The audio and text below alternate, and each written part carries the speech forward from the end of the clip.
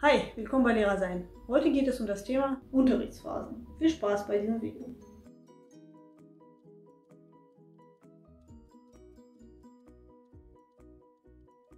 Meiner Meinung nach kann man jede Unterrichtsstunde in verschiedene Phasen unterteilen. Diese Phasen können dann beliebig ausgeweitet bzw. verkürzt werden und die würde ich jetzt gerne vorstellen. Die erste Phase ist naheliegenderweise das Ankommen. Hierbei begrüßt man die Schüler und überprüft die Anwesenheit.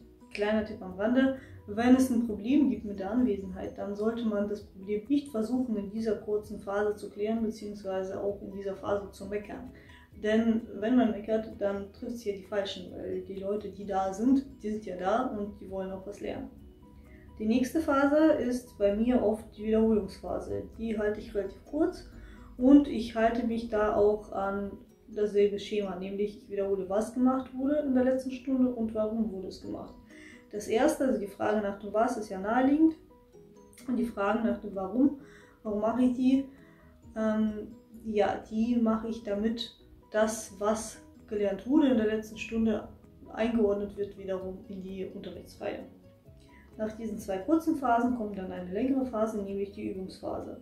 Hier ist Abwechslung ganz gut, sowohl in den verschiedenen Aufgaben, also in den Methoden, als auch in den Sozialformen. Und diese Phase dient der Vertiefung des Stoffs bzw. dem besseren Verständnis bzw. der Klärung der Fragen. Die nächste größere Phase nach der Übungsphase ist die Phase Neues.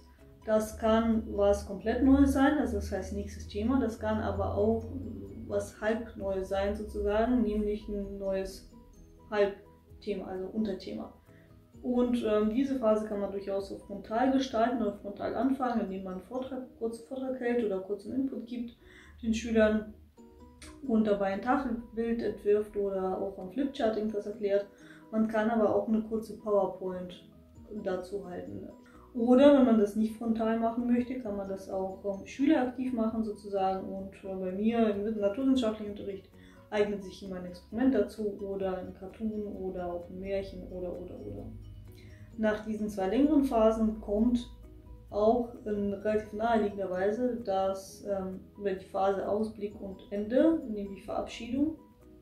Da, wie der Name schon sagt, verabschiedet man sich von den Schülern und äh, fasst vorher vielleicht nochmal kurz zusammen, was haben wir heute gemacht und äh, wünscht dann alles Gute und ähm, ja, sagt dann bis zum nächsten Mal. Und diese zwei Phasen, die jetzt hier nebeneinander stehen, nämlich das Ankommen und das Ende, die sind meiner Meinung nach auch unverhandelbar. Das sind jeweils sehr, sehr kurze Sachen, man kann die in einer halben Minute abhandeln, aber die geben dem Ganzen irgendwie einen Rahmen. Und dieser Spruch, dass die Lehrkraft die Stunde anfängt und auch die Stunde beendet, an dem ist tatsächlich auch wirklich was Wahres dran. Denn ohne sind die Schüler irgendwie so ein bisschen verloren in Raum und Zeit und äh, besonders wenn man sich nicht verabschiedet, was durchaus passieren kann, dass es irgendwie untergeht, wissen die Schüler dann auch zum Teil nicht irgendwie oder sind die Schüler so kurzzeitig irritiert, so, hä, ist jetzt das Ende und können wir jetzt in die Pause oder wie ist es jetzt eigentlich?